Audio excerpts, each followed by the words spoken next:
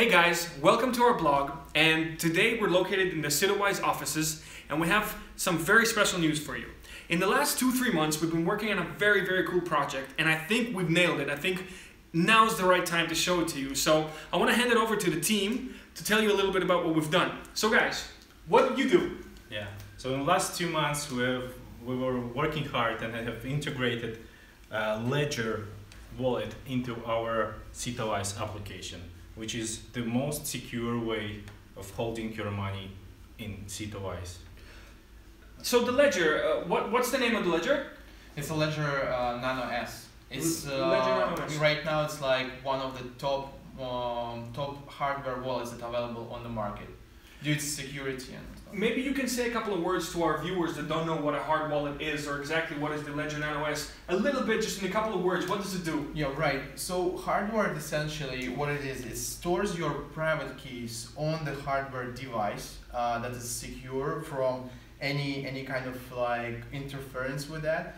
You connect it to a device like a laptop or, or mobile wallet in, in our case, and then you send the transaction. You you sign the transaction, send it to blockchain. So nobody knows your uh, private key, even you. Like you can restore it, but still, it's right now it's like one of the most secure way in the like to store your cryptocurrencies that available. On the market, yes, On the right now. Very cool. And I assume you're going to show us how it works.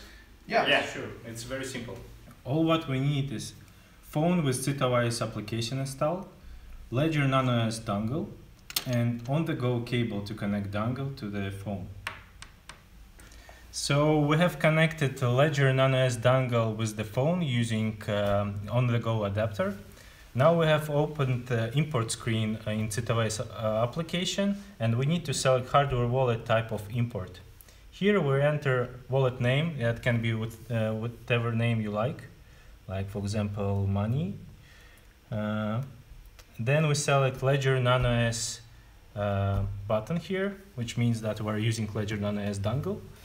And we follow instructions uh, which is are written uh, uh, in the application. Um, so I need to enter pin code on the ledger um, to unlock it. And now I need to select the Ethereum application because uh, today we're uh, showing you Ethereum type of wallet. And then click proceed. I'm granting permission to uh, dongle and confir confirming it.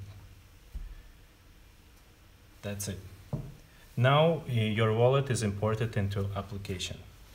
Now that you're set up and you're saying it's so simple to do, how about you just send me some money? Yeah, sure. I just need your wallet address. Okay, so I have the CitoWise app open and I'm just going to click the uh, wallet address and I'm just going to give it to you. Yeah, I'm scanning with my camera here. That's it. I'm on the payment screen. Okay, so how about you um, send me 10 bucks? Yeah, sure.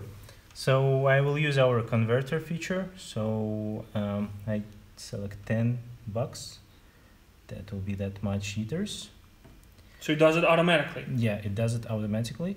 Uh, click proceed and confirm your payment.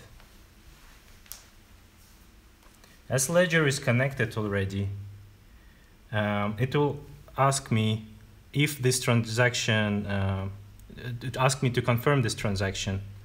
So I need to click uh, confirm on the Ledger. Now I got confirmation in the application. And that's it. It's sent to the blockchain.